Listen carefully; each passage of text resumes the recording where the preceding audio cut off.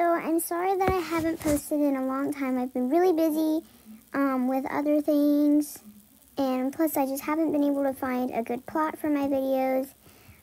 And I don't really think it's a good idea to steal other people's plots. So I've been trying to create my own, and with so it is, and with that, it's been taking a long time to figure out a good video idea. So yeah, this is just a little, little short to tell you that I'm sorry I have, um, to tell you that I'm sorry that I have been gone for so long, and I will try to post soon.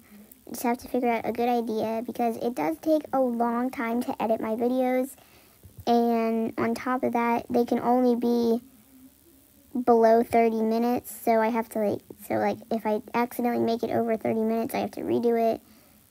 So yeah, but I'm really sorry that I haven't posted in a long time, and I will be trying to post soon. So yeah, hopefully you guys aren't mad at me, but also, while we are here, I want to thank you for over 70 subscribers. It means a lot to me. So yeah, thank you, and I will be trying to post soon, so bye-bye.